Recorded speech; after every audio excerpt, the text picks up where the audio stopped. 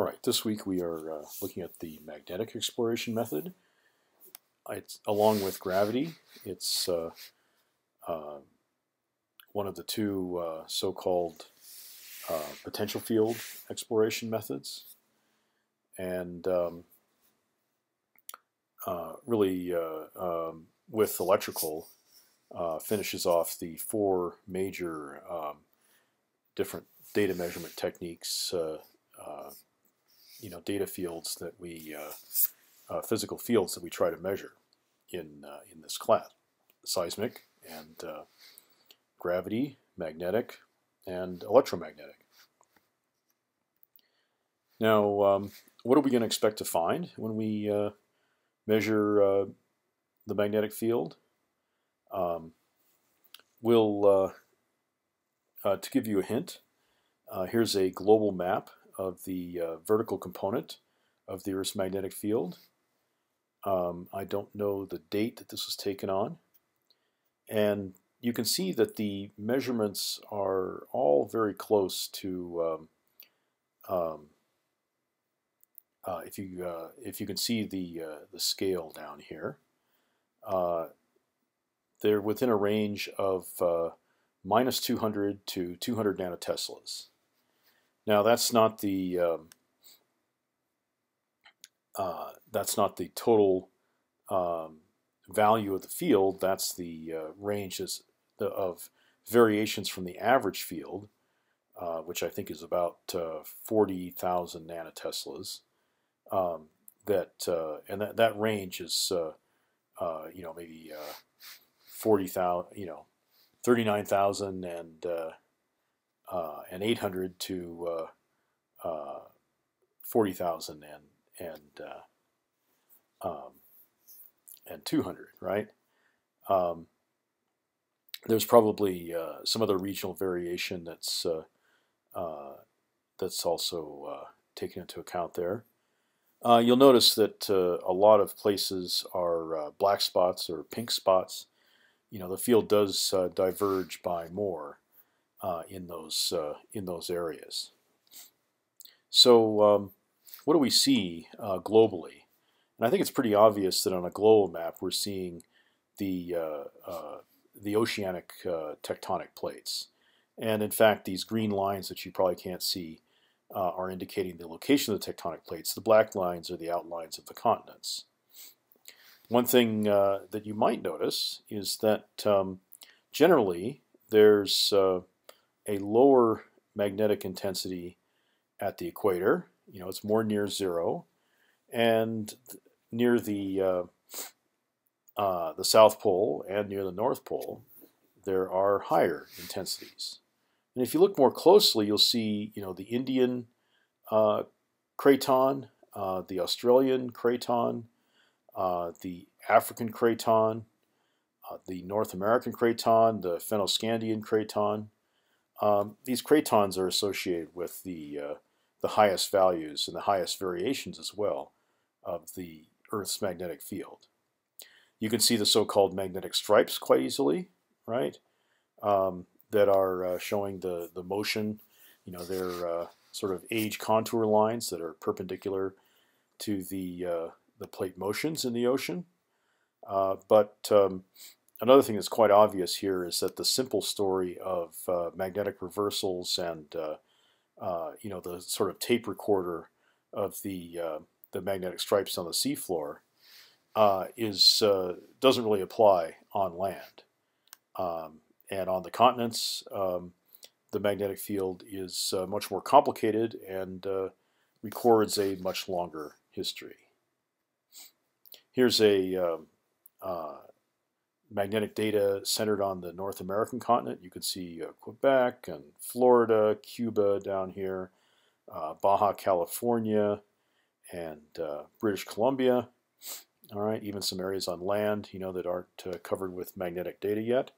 You know, I think this is direct, uh, uh, probably total field data. You can see the magnetic stripes in the floor of the of the North Atlantic and the Arctic oceans. Okay, uh, you can see uh, the magnetic stripes associated with the Juan de Fuca plate, uh, you know, offshore of um, Oregon and Washington, British Columbia, right? So that's uh, that's pretty clear.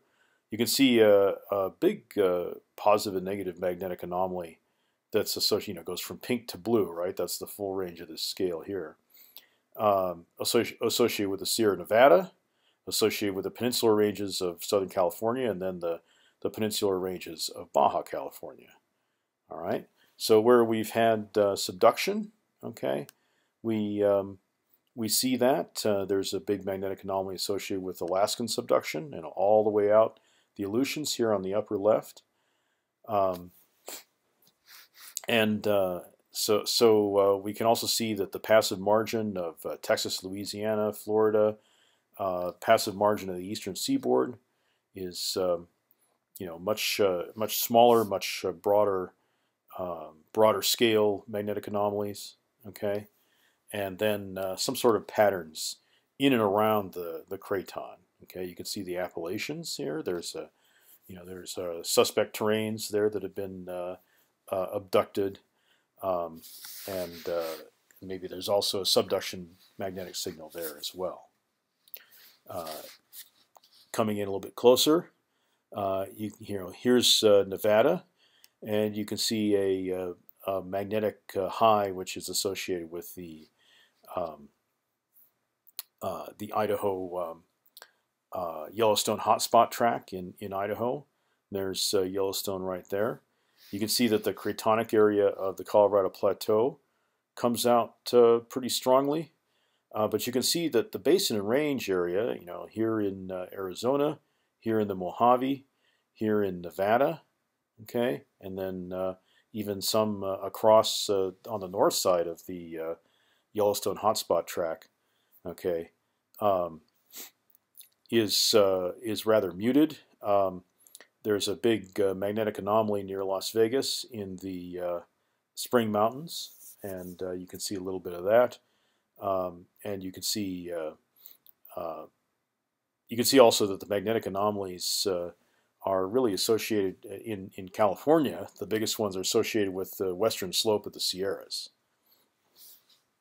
Okay, so now going back to um, uh, this uh, close-up of North America, uh, some of the bigger things that you can see in in uh, the North American craton are these sort of arcuate or linear features, and these have been shown to be uh, failed rifts, which are filled with uh, basalts, you know, that were supposed to have have started coming out of the ocean when, um, or, or, making ocean floor. There's you know, the rift begins and ocean floor begins to be created and basalts are laid down. They're highly magnetic. We'll explain why in a bit.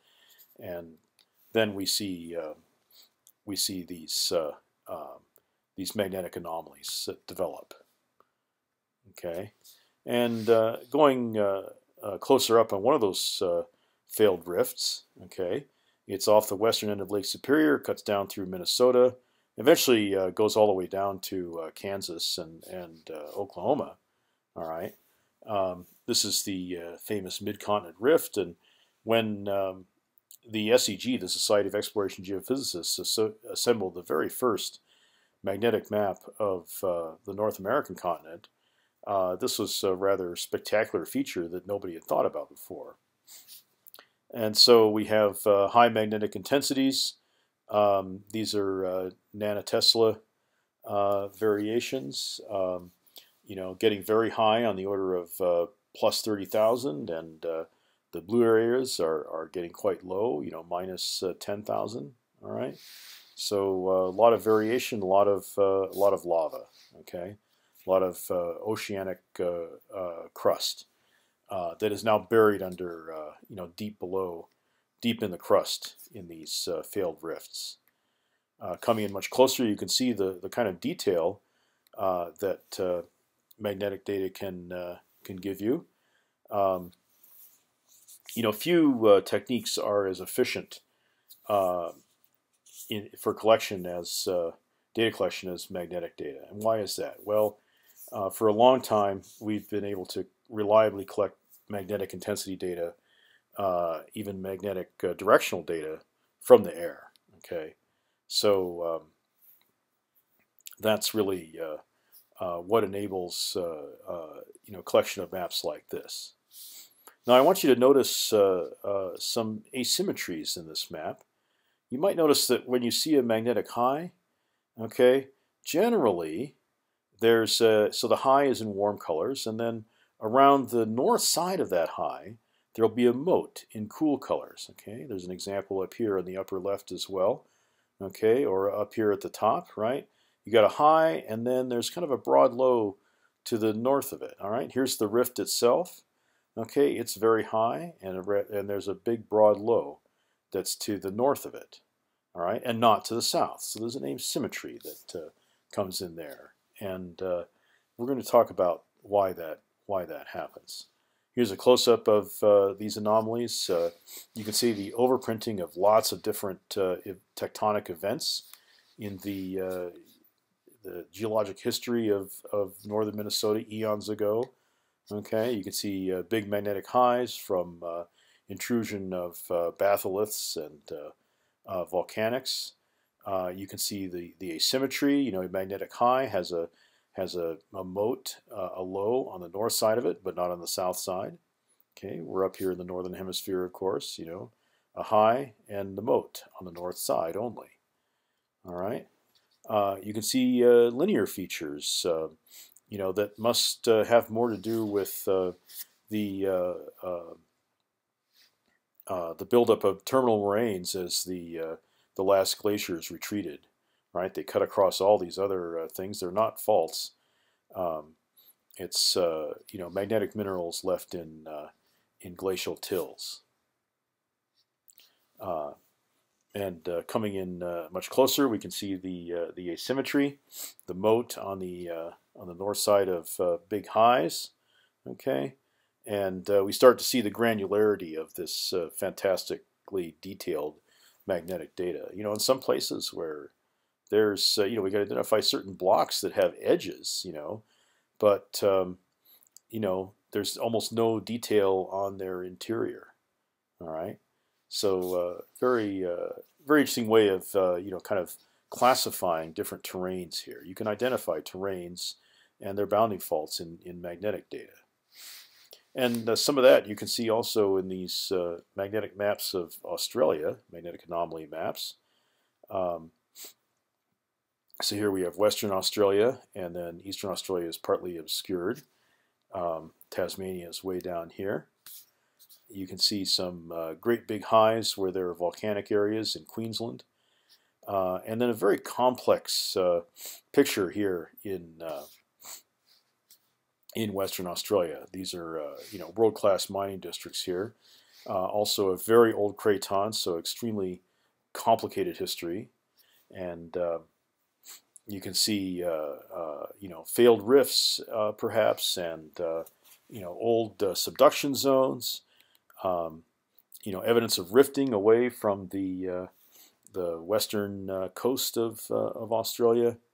Um, you know, this is all, uh, uh, you know, many hundreds uh, of millions, if not, if not billions of years ago.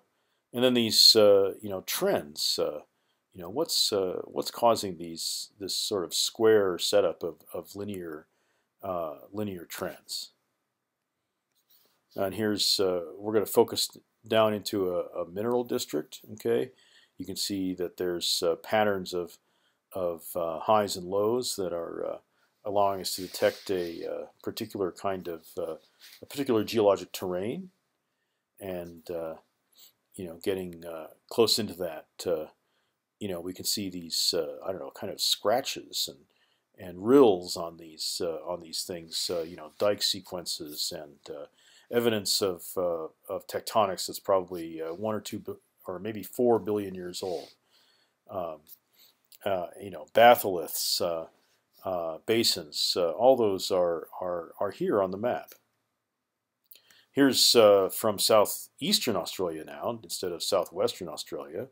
Uh, you can see that uh, uh, the province of, or the, yeah, the state of Victoria, the Australian state of Victoria, has these sort of bullet, bullseye magnetic highs, okay? And you might be saying, well, if you got a magnetic high, why aren't we seeing a a, uh, a low moat around the uh, the north side. Ah, we're in the southern hemisphere here, and it's as well the southern magnetic hemisphere. So the uh, the the the the lows, the moats, are on the south side of the highs. You can see that pretty easily here. Um, and uh, along uh, uh, the southern southern edges of many of these highs are uh, their low moats. And here's a particular, uh, you know, this is a, um, you know, a small place prospect that's just a few kilometers wide, and you can see it's associated with a uh, a very high um, magnetism. Okay, and this one happens to be associated with gold. Okay, now I've been saying, uh, you know, we can see, uh, I've been talking about certain rocks like basalts having uh, higher, uh, giving us higher magnetic signals.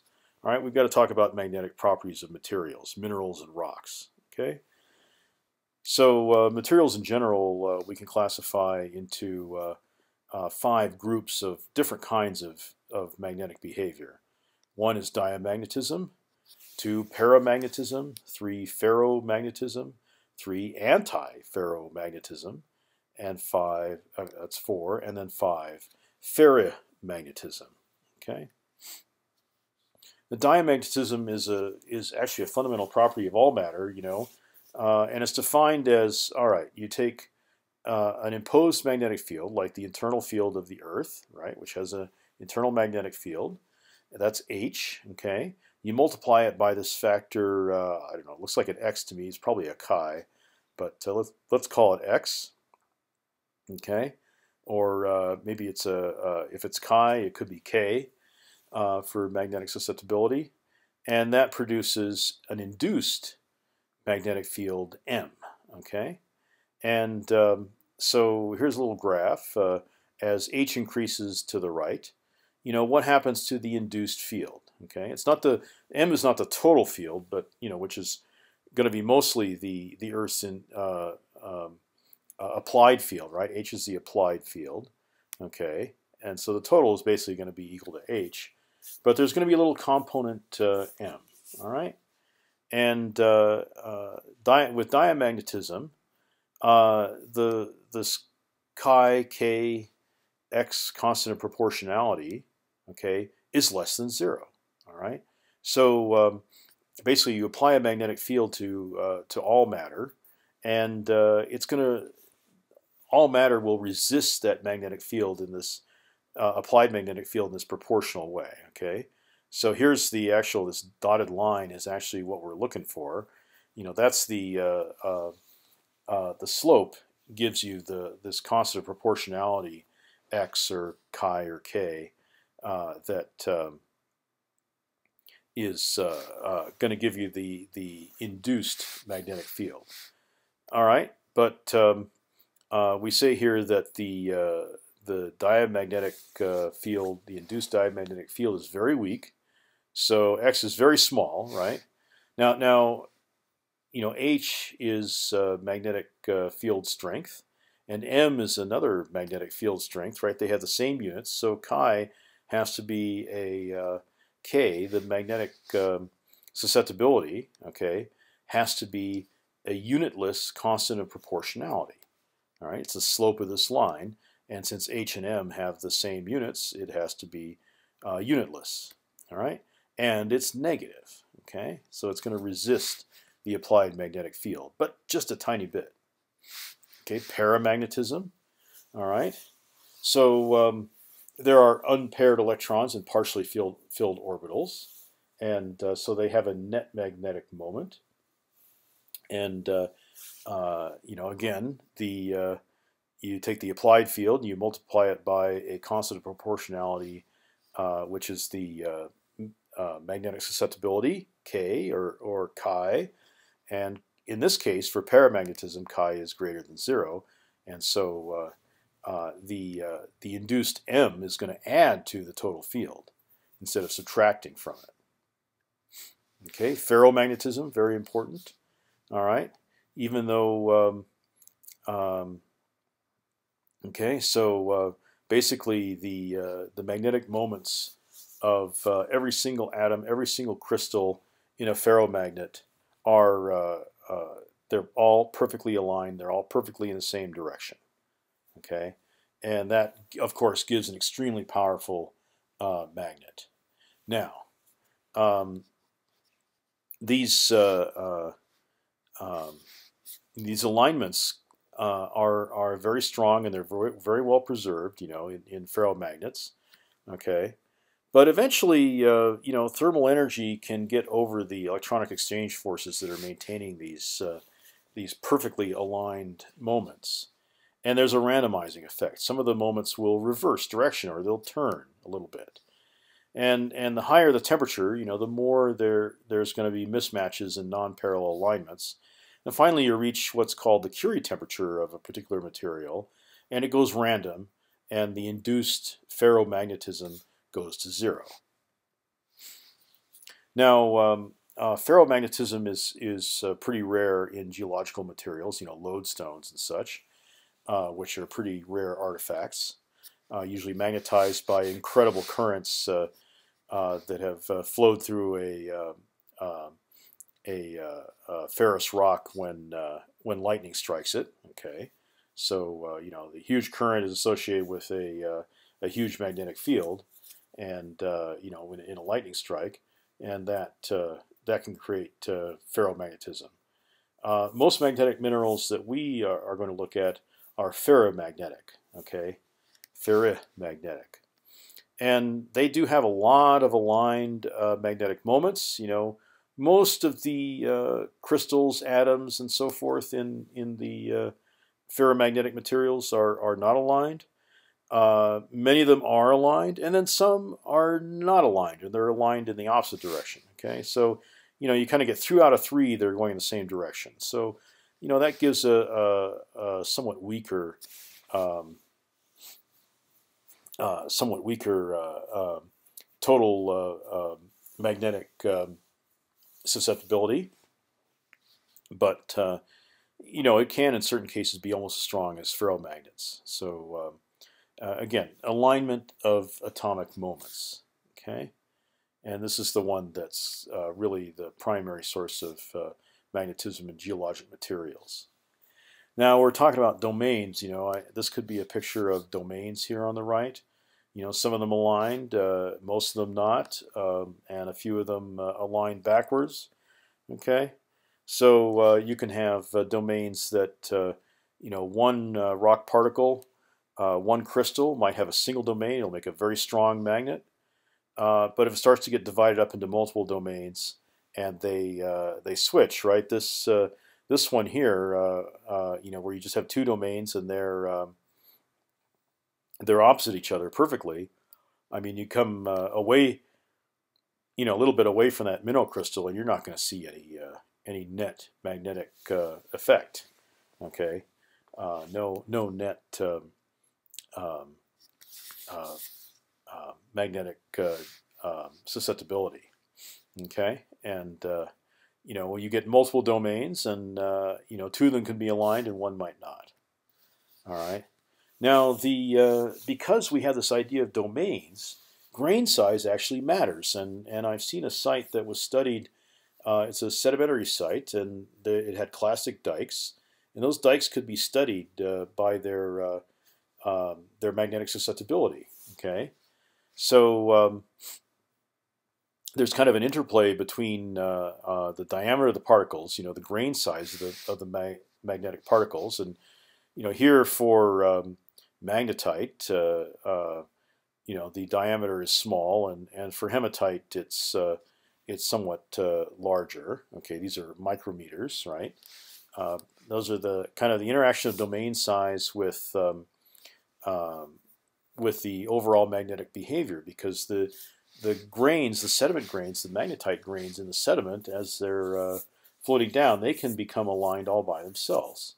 And if they come out of alignment, that means that something may have happened.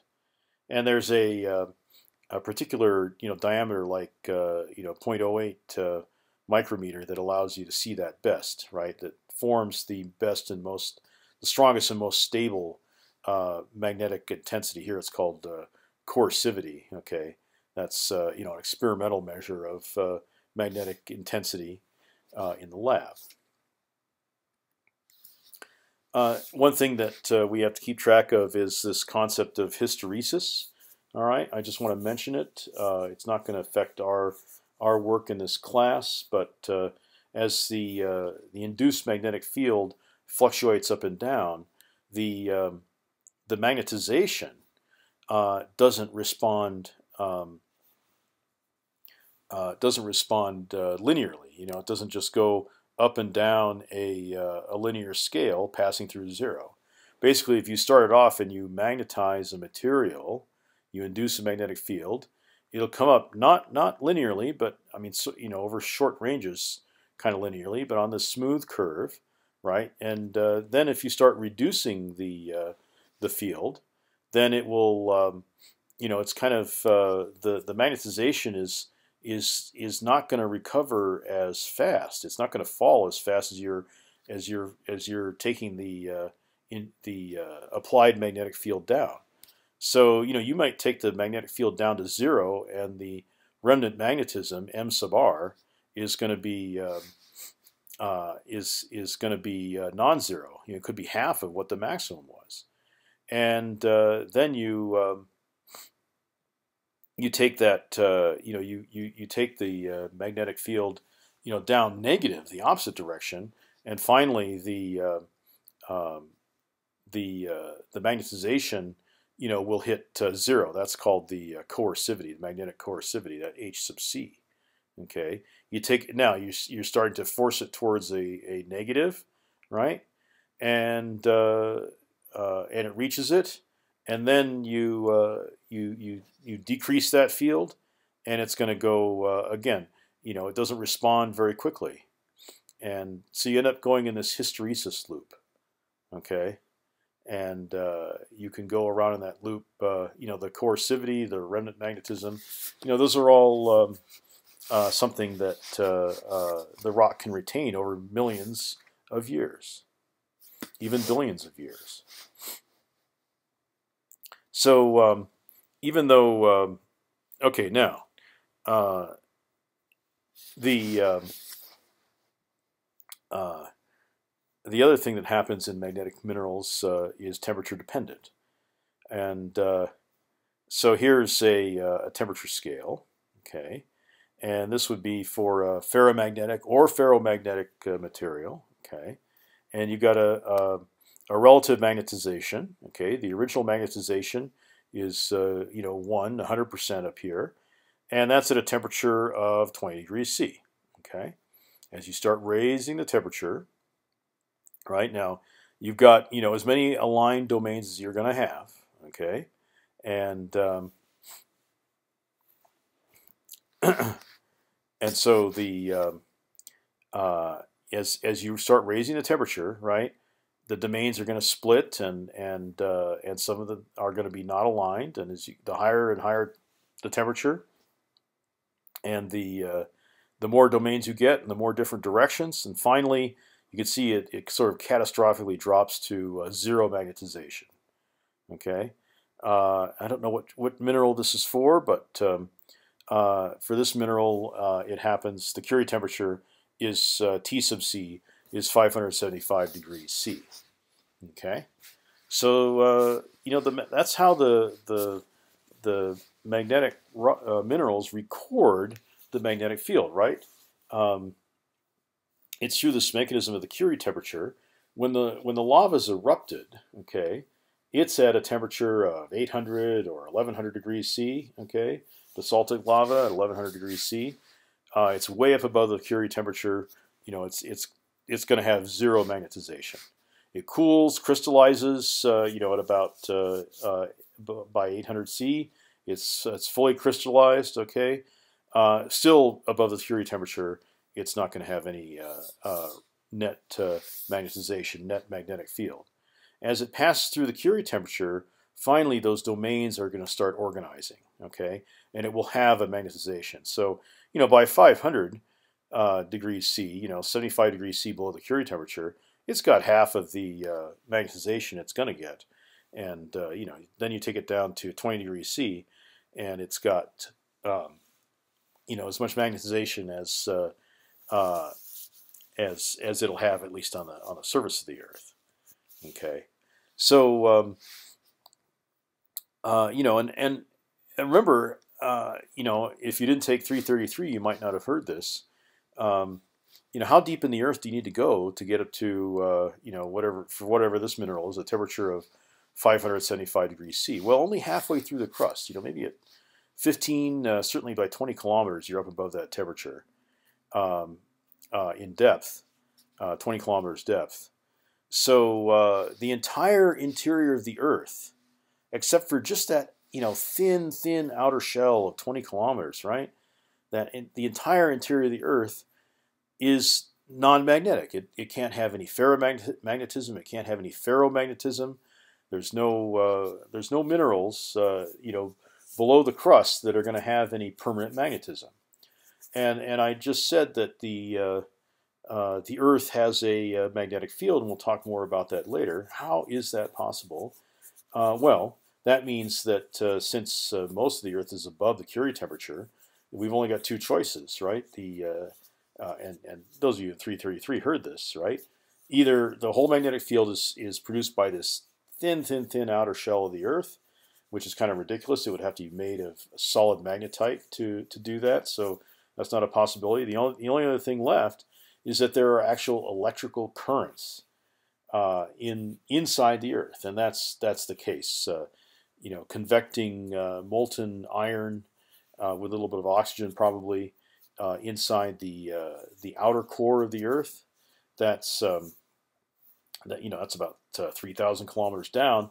Um, that's what's that convection that molten iron is what is uh, uh, causing uh, the the Earth's magnetic field. Okay, so uh, let's talk about uh, uh, magnetic susceptibility a little bit more. So again, I, I said it's a you know here the symbol is chi, and then in the literature you'll see kappa or k. I would just rather talk about it as a k. That's much simpler to me.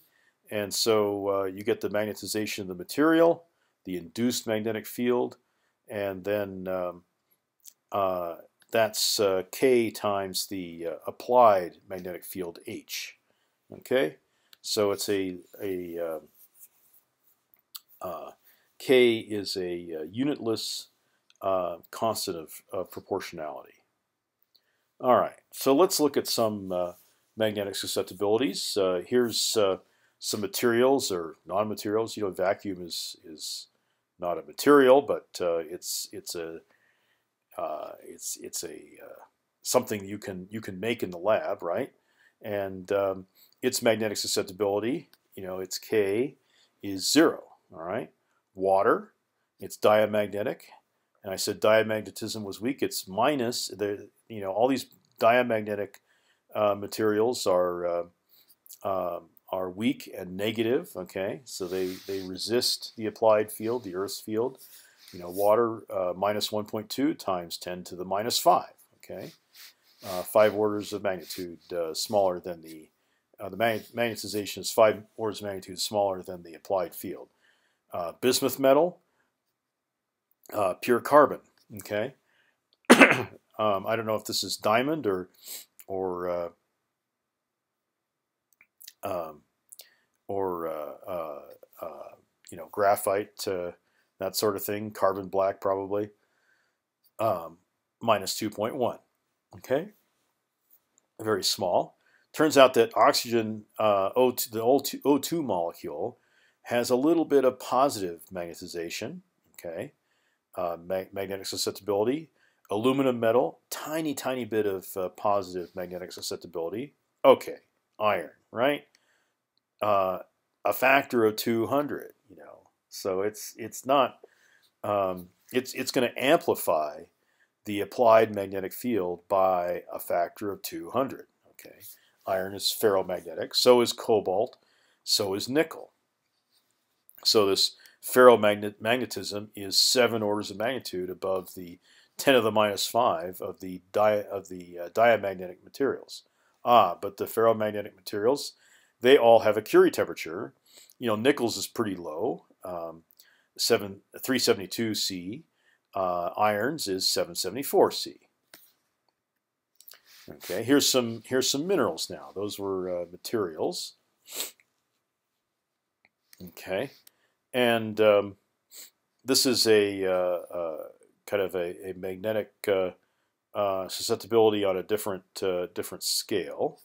Okay, so magnetite is ferromagnetic. Okay, we're going to talk about magnetite a lot when we talk about magnetic susceptibilities.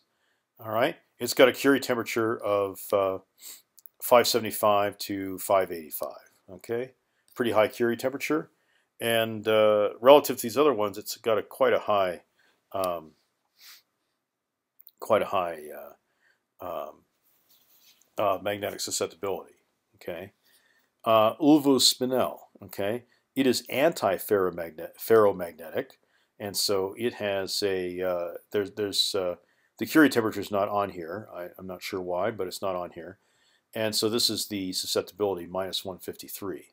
Okay, hematite it's a it's a canted uh, uh, anti-ferromagnetism, and so it comes out positive, and it's it's higher actually than uh, magnetites. I'm sorry, it has a higher uh, uh, Curie temperature, 675 degrees C, uh, but it's um, you know it's not nearly as organized as magnetite, and has you know um, it's like one two hundredth of as magnetic as as magnetite, but that's still pretty good.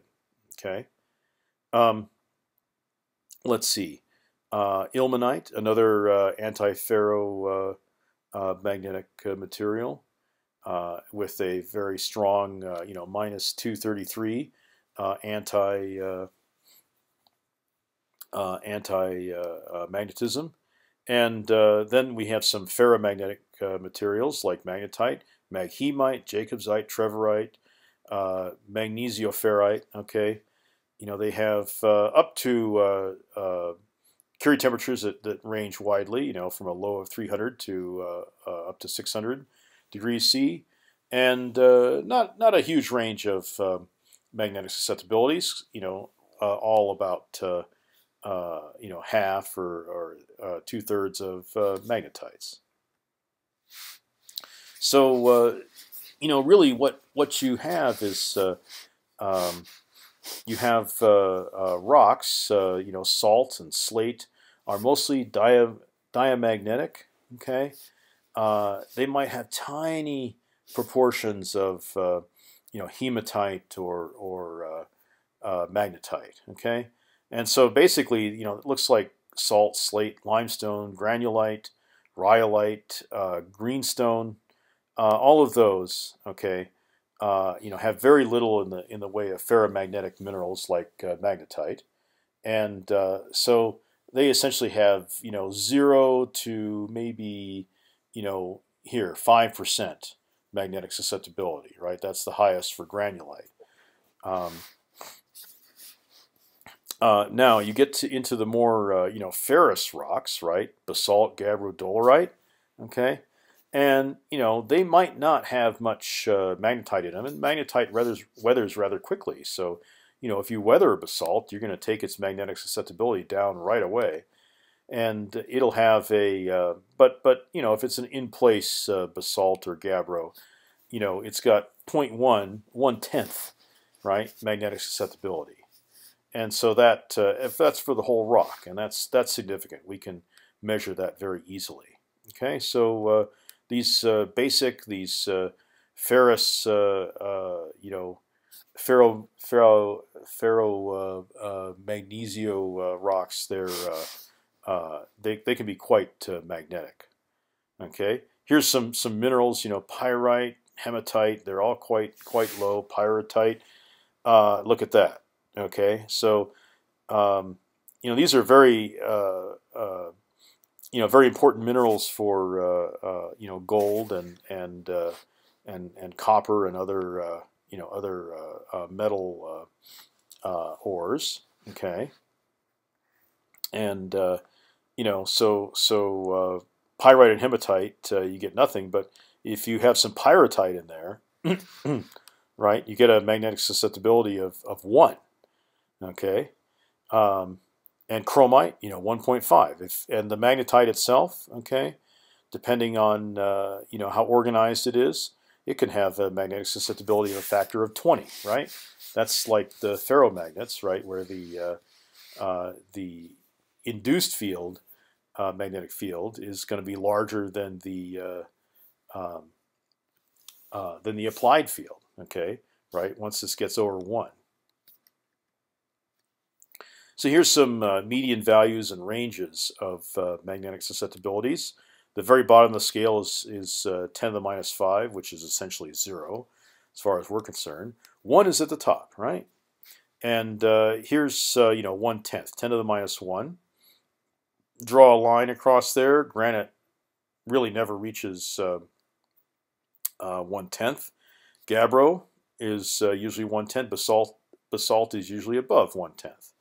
Okay, so uh, you know these uh, volcanic and uh, um, uh, these rocks that have magnetite, okay, they are are very usually very much above um, the uh, uh, the magnetism. You know, like two orders of magnitude at least in magnetism above sedimentary rocks like shale, sandstone, limestone, dolomite. Right, those all have median values that are below 10 to the minus 3, whereas, uh, you know, uh, these volcanic rocks on the right in red, they have uh, magnetic susceptibilities that are, uh, they can easily be uh, one-tenth or higher, right? So two orders of magnitude difference. So really, uh, you know, we're, magnetic exploration is kind of looking for and sensing the presence of these volcanic rocks, gabbro, and especially basalt very uh, very magnetic. Um, now you'll see sandstone and shale, right? I, I have seen a sandstone on a beach in the North Island, of New Zealand that was basically solid magnetite. And yes, there's a big iron mine there, and uh, there used to be a, uh, a huge uh, uh, steel mill. Okay, um, and then you know it's cheaper for them to import their steel from Brazil now. I think. So um, you know that's why sandstone uh, you know has this huge range. It, you know because uh, yeah, a lot of sands, uh, beach sands, river sands can have a lot of magnetite in them.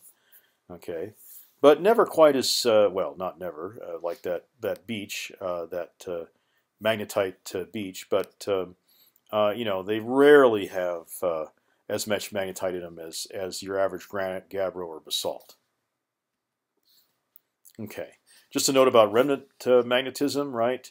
You get a total magnetism, which is the uh, the chi, the k, uh, the the magnetic susceptibility times the applied field h, and then you got to add the remnant magnetism.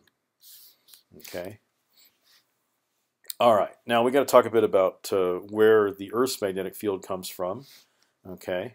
So uh, at the top here is the geographic pole, right? So that would be the North Pole as you know it uh, with the North Star right over it. Okay, and uh, here's the South uh, geographic pole.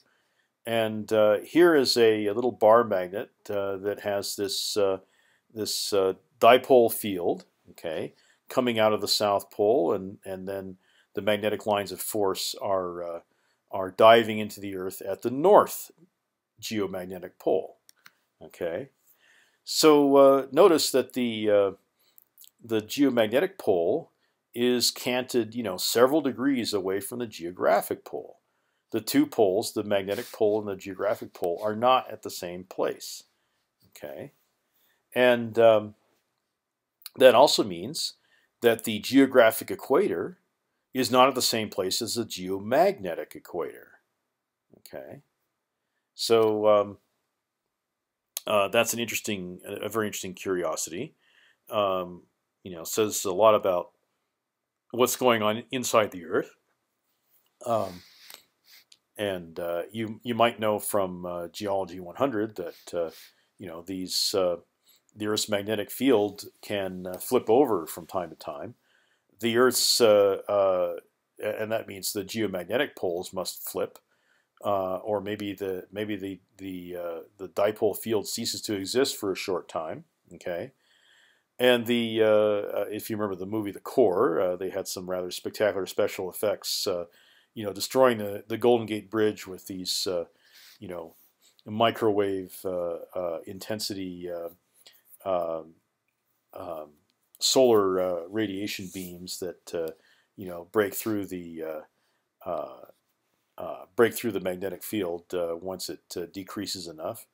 Um, you know, that was Hollywood.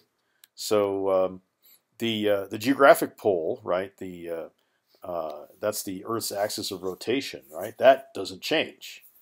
You know, it uh, it wobbles a little bit, uh, especially when you have giant earthquakes like the uh, the Sumatran earthquake of a few years ago. but um, basically, it it it it only moves by a few meters. you know, if you're standing in on the ground in, in, at the South Pole of Antarctica, uh, they've tracked, you know, how far the uh, the geographic pole has moved, and it's just a few meters.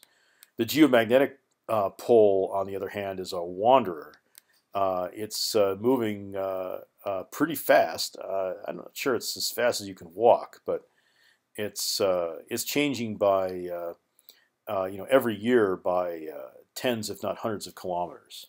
So um, that adds some time dependence to our the location of the uh, magnetic pole, and um, uh, you know the other things like the geomagnetic equator. You know those those things change location with time. So uh, you know here's a, another drawing of a bar magnet with the uh, the south pole and the north pole. Okay, and uh, um, depending on where you are on the Earth, you know if you're at the uh, if you're at the equator, right, the magnetic lines of force are horizontal if you're at the geomagnetic equator. If you're at the, uh, the geomagnetic pole, the magnetic lines of force are vertical. Okay, and if you're in between, like uh, in Nevada, you know we're at 40 north. Um, the magnetic lines of force are, are diving into the ground, you know, towards magnetic north. And uh, uh, if you're, uh, you know, in uh, in the southern hemisphere, like in Australia, the magnetic lines of force are launching out of the ground at an angle. Uh, you know, coming from the uh, uh, they're they're diving they're they're launching away from the uh, south uh, uh, geomagnetic pole. Okay, so that's a dipole applied to the Earth. Now, um, I urge you to everyone to print out this sheet. It's in the the PDF notes. You don't have to get it out of the uh, the magnetic uh, uh, PDF. Okay, so you get a, a, high, a full resolution version uh, by printing that sheet out of the magnetic overheads. Okay. and this legend at the bottom right, that is the critical thing. Okay, because depending on where you are on the Earth, you know, are you at the magnetic pole? Are you um, not at the pole and not at the magnetic equator? Okay and then it makes a difference which way is your traverse, right? All these traverses here, these are the magnetic signals. All these traverses are um, all these traverses are uh, um, uh, you know in a certain direction, right? And so uh, you know the uh, uh, for the first one, you know the uh, that's as if you're at the uh, uh, the north magnetic pole, and so the magnetic lines of force are straight down. Okay, and you can see you get a uh, over a sphere, you get a high and equal gutters on each side. Okay, and um, so uh, that's at the north magnetic pole. If you're uh, at the uh, at the south magnetic pole, then you'd see a you know the negative of this of this anomaly here uh, but it would still be symmetrical. Okay. Now, um, when you're at the geomagnetic equator, that's the lower two. Okay, and at, when you're at the equator, uh, and you can see in the legend the uh, uh if you print it out, uh, you can't see it in the video, I'm sure. the magnetic lines of force are horizontal if you're at the geomagnetic equator. And uh, so, you know, this this still has an anomaly. But then it matters. Uh, you know, are you are is your traverse lined up with the uh, with the magnetic lines of force, which are which are horizontal? If that's the case, then that would be the fourth one here. And uh, uh, at the bottom, right, that's where uh, your traverse is east-west, and the magnetic lines of force are horizontal and uh, um, uh, and and going across your array. And notice how how um, there's a flat line here, a straight line. You know that's situation number five. Okay, and that's when you're at the magnetic equator and you're doing an east-west traverse. Right? There's a lot of a lot of these anomalies that uh, that do not uh, a lot of these anomalous uh, bodies. You know, these these could have as strong as a of a magnetic susceptibility as you want, and an anticline, a sill, a dipping dike. Okay, gradually sloping surface, a wide dike, a vertical sheet. Uh, you know, uh, this vertical sheet would be north striking, uh, and you're doing a traverse east-west over it, and and if you're at the magnetic equator, you don't see anything. Okay, it's a flat line. You get no signal. So the magnetic equator is uh, kind of a lousy place to do uh, uh, magnetics. So uh, you can run into the magnetic equator in Africa and uh, South America, like in Brazil.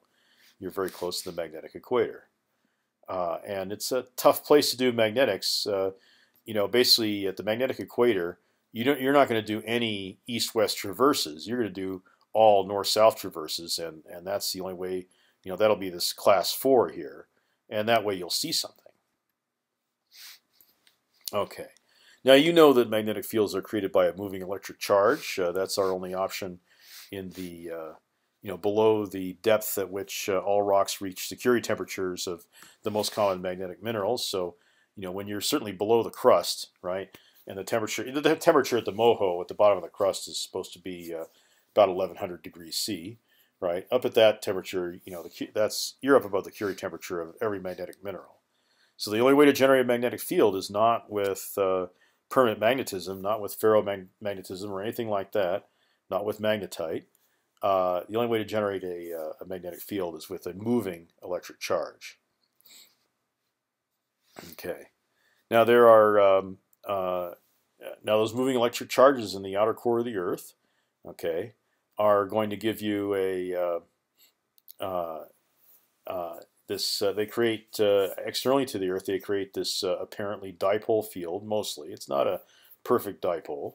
Okay, and you're going to get you know different different directions of um,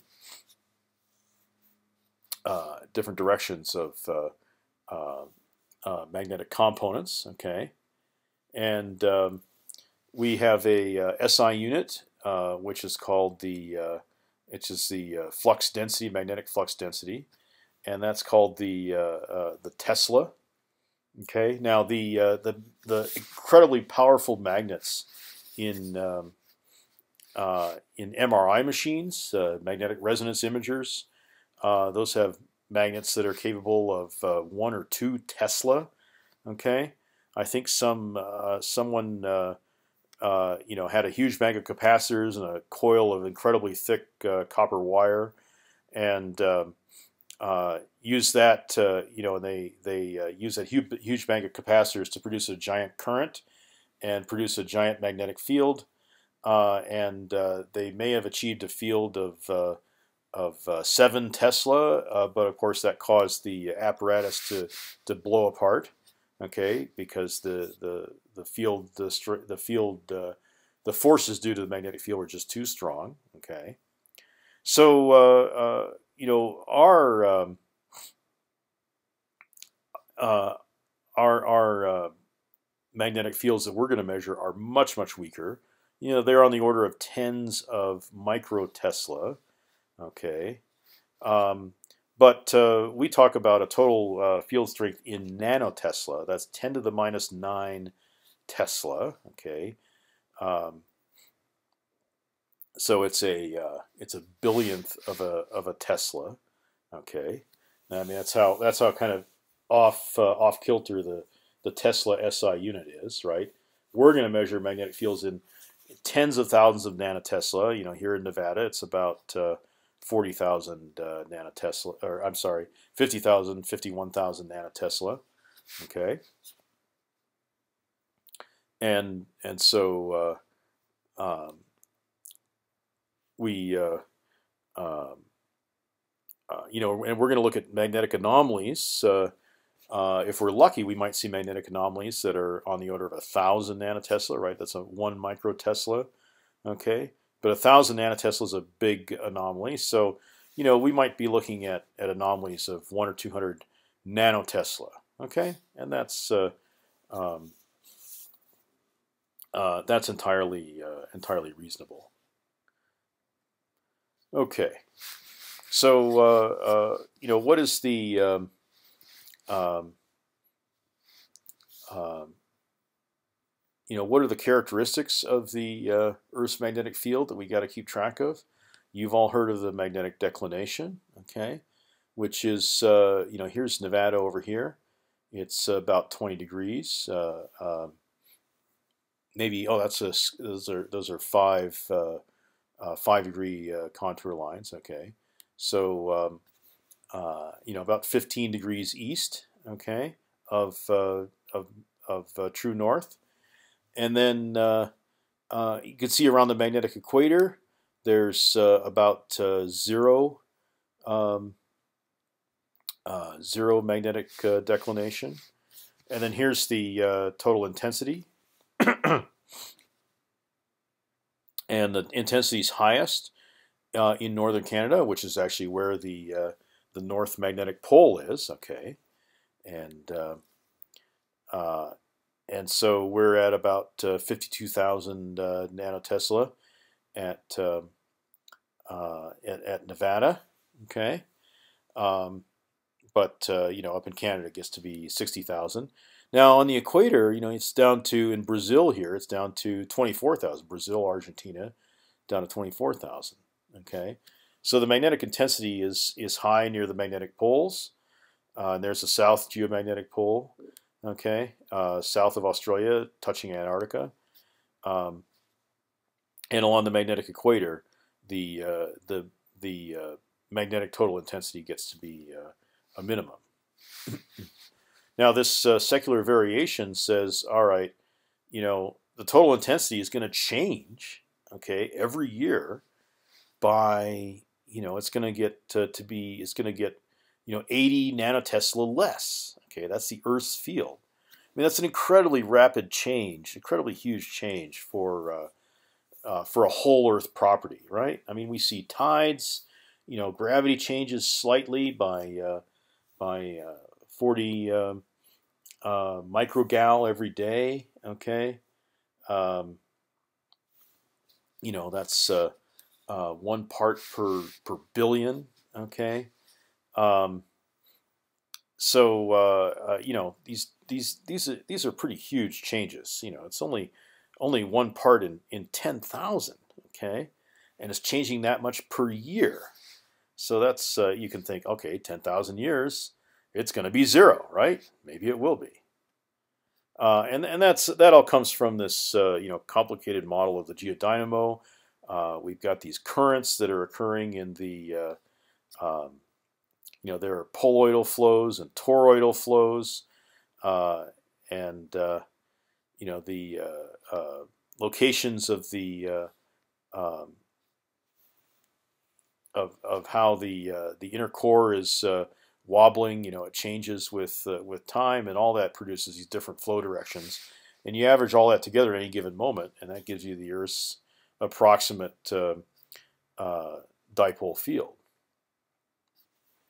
Now, to keep track of this, uh, you can go to this NOAA site, uh, ngdc.noaa.gov. Okay, and you can go to uh, and under there slash seg slash geomag.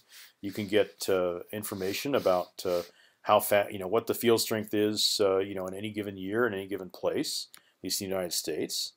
So you set a uh, uh, a uh, uh, a start date and, and, an end date, okay, and uh, it'll tell you, you know, what the field is going to be.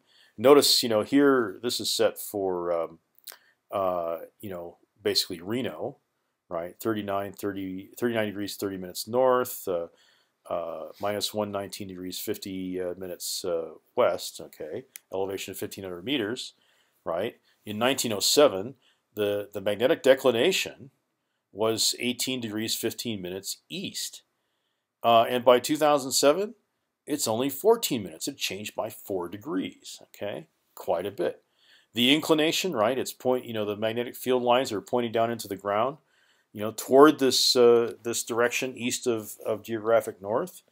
Okay, and um, the inclination's uh, not changing much. It's only changing by uh, you know one minute per year. The declination is changing by seven minutes per year, minutes of, of arc.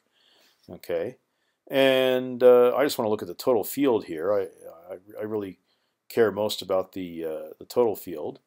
That's what we're gonna what we're gonna measure really. Okay, in 1907, uh, in in uh, Reno, we were at uh, almost 56,000 nanotesla, and now it's only 2007. 100 years later, we're at only 50,000. You know, barely, not not quite even 51,000 nanotesla. So it's you know it's dropped by 10 percent. Okay, in 100 years, that's ridiculous. All right, it's changing by uh, almost 80 nanoteslas a year. All right, and that's what this uh, you know this uh, NOAA uh, geomagnetic model, you know, and its time dependency shows. Okay, we got to keep track of it. It's still falling, right? It's already uh, 2013. Um, now I want to uh, talk a little bit about diurnal variation and, and magnetic storms, and let's see if I can go to um, the yeah here we go. These are summary plots uh, from Natural Natural Resources uh, Canada, and um, I'll try to zoom in a bit um, on these. Okay, uh, we've got uh, uh, stations. The most northern stations are up at the top of the of the page. Okay, and they're the ones that are most susceptible to um, you know, this uh, solar activity. Okay, and as we go down the page, we're getting towards more southern stations, and the southernmost, you know, there's Ottawa, and Victoria is the the southernmost. Okay, um, so what's happening at uh, at uh, Victoria? Okay, uh, let's go over to the left hand side, and the we have a nanotesla scale. Zero runs right through the middle, so it's a full you know, it goes from minus 50 to 50 at Victoria and also at Ottawa. Okay, minus 50 to 50. And uh, you know, Victoria is not that far from here. You know, compared to Resolute on the northern, uh, you know, Canadian Arctic islands, for heaven's sake. So uh, you know, we'll we'll we'll keep track of what's going on here, courtesy of Natural Resources Canada. Um, uh, you know, in our field area, we'll we'll keep track by looking at the Victoria record. Okay, not that far from here. Um, all right, so we've got uh, there's this wave of magnetic change, you know, in the last uh, 12 hours, right? Uh, which is, um, uh, you know, it's fairly flat for uh, uh, for the previous 12 hours, and then this wave of magnetic change. That's the diurnal variation. Okay, the sun heats the magnetosphere, and we get a, a an overall change in the uh, in the total intensity of, of the magnetic field at uh, uh, at Victoria and at Reno. Okay, and you know Ottawa is quite a bit east, so it happened earlier there. Okay, so uh, let's see, universal time hours. Yeah, 18. That's um, that's uh, uh, 10 o'clock in the morning in Victoria or here. Um, and zero is four o'clock in the afternoon here. Um, so the magnetic intensity was falling through the uh, afternoon. Okay, you're going to be surveying through times like that, and you, you know, you have to be aware the magnetic intensity will change by. Uh, looks like the change here is almost 100 nanotesla. Okay, that's a. Uh, I've been looking at these records a lot. That's a pretty big swing in um, uh, in uh, magnetic intensity. Uh, and you know we have the, the, th the three components here: x, y, and z basically, you know, I want you to look for the biggest one, and that uh, for this particular uh, uh, time, it appears to be y. Okay, and so that's going to affect the total intensity as well, and that's a swing of of almost 100 uh, nanotesla. So so you know that's that's kind of like a tide, right? Uh, and so we go back to a base station and uh, with our magnetometer, and we can keep track of that. You can see it's kind of smooth, but there are these variations here. Um, you know, these these little jerks in the magnetic field. It's only by uh, you know less than 10 nanotesla. Uh, but what does that mean? That means that if we see a magnetic anomaly that is less than uh, 10 nanotesla, we're just not going to be able to believe it right? Because it, we could have these random jerks in the magnetic field, right? You can see these curves are not perfectly smooth, right? Um, so if if we were surveying, you know, along one line for the whole afternoon, and we saw the magnetic intensity dropping, we wouldn't interpret that as a magnetic anomaly. Okay. Um, what we do is we set up our. That's why we set up our magnetic base. Okay. So at one spot, it can record the time variation of the magnetic field in our area, right? You can see all these different stations are, are different, right? All, these stations have have have different, uh, um, um, you know, different signals, different intensities, different changes. Okay, so um we will then we can then uh, take our uh, you know we we if we're interested in in magnetic um, uh, data to an accuracy of 50 uh, nanotesla. You know, if we have we, if we had a 50 nanotesla uh, anomaly in our in our survey, all right, we'd want to take the data from our um, our uh, base station magnetometer and subtract it from the data, you know, at at the corresponding time, right, from our roving magnetometer, and that'll get rid of the the diurnal variation. All right, so that's the reason really for setting up a uh, uh, uh, that's really the whole reason for setting up a magnetic base station.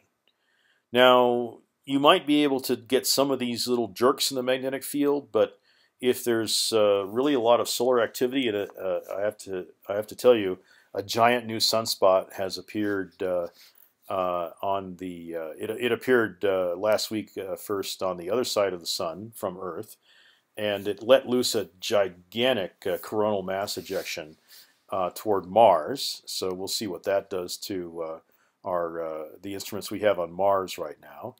Uh, but this sunspot is rotating toward us now, and it's probably going to be uh, uh, playing havoc with with the data that, that you'll take.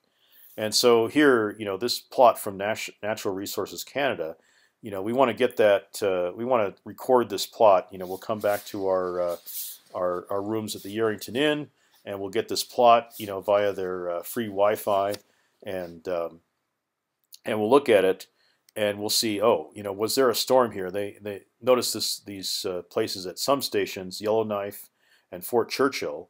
Okay, uh, they flag some as yellow. Okay, and that's where the uh, the the magnetic susceptibility changed. You know, in less than a minute by 100 nanotesla.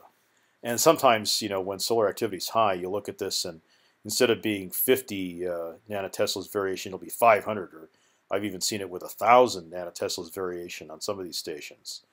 Uh, and and most of it will be yellow. Okay, those are the days when you know the magnetic uh, jerks are happening so fast and so unpredictably that even with even with a magnetic base station that day, um, you know our data are going to be garbage. We just can't use it.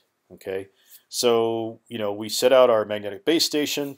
That's just to get diurnal variation. It's not gonna gonna help us with the magnetic storms if they're big enough. Okay, um, and we could get unlucky. You know you, that sunspot could could be pointed at us. It could let loose a, uh, a magnetic storm, and if uh, you know the satellites will will see that, and uh, we might even decide, ah, okay, we're not going to do any any magnetics. You know, we'll get warning the night before. We're not going to do any magnetics the day uh, um, the day after because uh, there is just a big coronal mass ejection. It's headed toward Earth, and we're going to see a lot of uh, magnetic uh, storming uh, the next day. Okay, so uh, with this the app called um, um, um let's see, oh, 3D Sun is what it's called. you can actually get a, a prediction of magnetic storms like 12 hours in advance. Okay, so uh, we'll be monitoring 3D Sun. When we come back from the field after we've collected our magnetic data, we'll go to this Natural Resources Canada site, and uh, we'll we'll take a look at the Victoria Station, And if the Victoria station's like this, well, then we'll be aware. Okay, we got to watch out, right? We could have a hundred nanotesla uh, magnetic anomaly that's that's totally false because it's just diurnal variation. Okay, so we'll have to you know we'll have to correct our our rover magnetometer data for the uh, the base station magnetometer. Um, and then if we're unlucky enough to see some real storming activity, uh, then we might even uh, have to go uh, go back and recollect the data on a quieter day. Um, you know, I, I, I thought our our year of uh, you know heavy sunspot activity was over with uh, last year, but then that huge new sunspot opened up and been blasting out coronal mass ejections into the magnetic, well, into Mars's atmosphere, and it's gonna it, it has a potential to blast a coronal mass ejection into our uh, magnetosphere, and so that would play havoc with our uh, with our data. Okay, now where do you where do you get this plot from Natural Resources Canada?